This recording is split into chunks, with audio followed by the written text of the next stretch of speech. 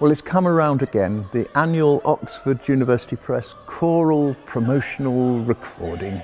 I look forward to it every year because it's an opportunity to see how some of my colleagues are writing and how some new talent is coming through and everything is fresh.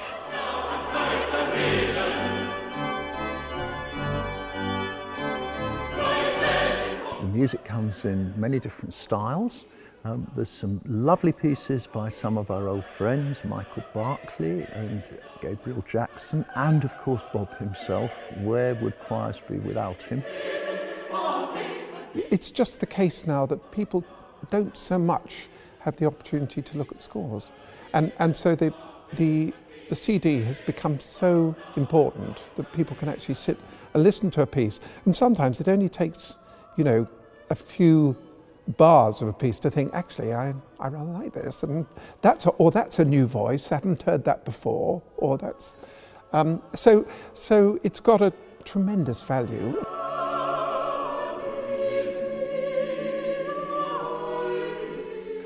And there we all are just um, enjoying every minute. And I think there is a real sense of discovery and a sense of making music together um, because many of the singers that we're working with here are um, very busy professionals who work with all kinds of vocal groups and have solo careers also, but they're coming together to be a choir just to sing all this lovely new music.